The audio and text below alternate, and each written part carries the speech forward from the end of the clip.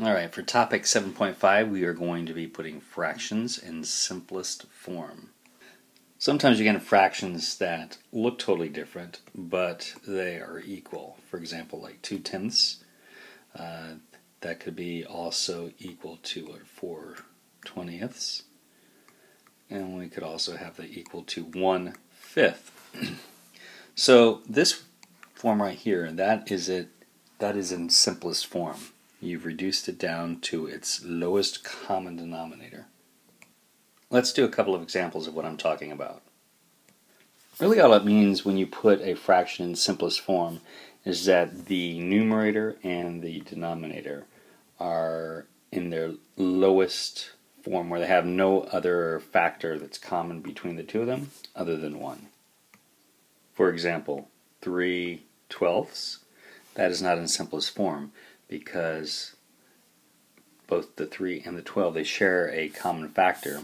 The greatest common factor they have in common would be 3. So we're just reducing fractions to their lowest common denominator uh, where they cannot be divided by anything other than 1. So in that example of 3 twelfths, you'll look at that and you'll just kind of look at um, the factors that they may have for that. Well, 3 is 3, 1 and 3, right? And 12 is 1, 2, 3, 4, 6, and 12. The greatest common factor that they have is 3. So what you can do is you can divide a 3 out of each of these and 3 divided by 3 would get you 1 12 divided by 3 that would get you 4 so 3 twelfths in simplest form would be 1 fourth I find it easy if you just take what you have like in the numerator. Let's say we have 75 hundredths. Just take what you have in the numerator there and just see what factors you have in there that would also match up for here. So 75, looking at that, I know that it's 25. So 25 goes into 75 three times you do the same thing for the denominator. That would get you 4. So 75 hundredths would get you 3 fourths. You gotta be careful though, because sometimes you may not think that they would have a common factor. Let's say 14 out of 21. Numerator is um, even, denominator is odd. But you should see that you can get 7 out of both of those. So, same thing divide both the numerator and the denominator by that factor, that would get you two thirds in this case. Now sometimes, like let's just say we have like 32 eightieths. Both the numerator and the denominator are even, so you know you're going to get at least 2 out.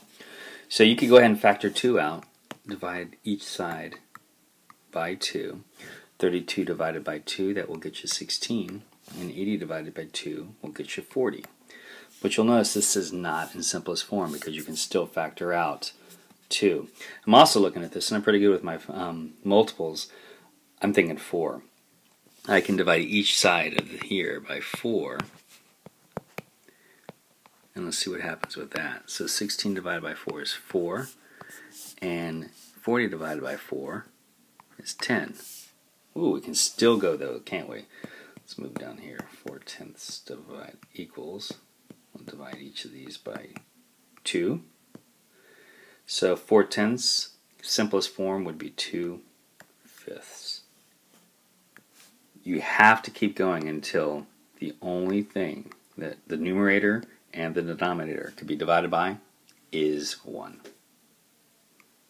Let's try a story problem. Let's say there's 36 students in a class and 27 are going to go to a math competition. So what's the simplest form of the fraction of the class that's going to the competition? Well, there are how many total? 36. And out of the 36, 27 are going to the competition. So you could represent that as 27 out of 36 as the fraction. Let's write out the factors for these numbers. 27, you would have 1 times 27, 3 times 9, and I think that's it for 27. For 36, you'd have 1 times 36 2 times 18, 3 times 12, and what? 4 times 9, 5, no, 6. 6 times 6. So here's all your factors of 36. So the question is, what's the greatest common factor that they have? Well, they share 1, 3, oh, but look, 9. 9 is the greatest common factor. So if we take both of those, divide them by 9, that will put this fraction into simplest form. 27 divided by 9, 3. 36 divided by 9, 4. So 27 36ths to its simplest form is 3 ninths, 3, 3 fourths. All right, you have your requisite problems over here. Go ahead and solve those, and I'll see you in the morning.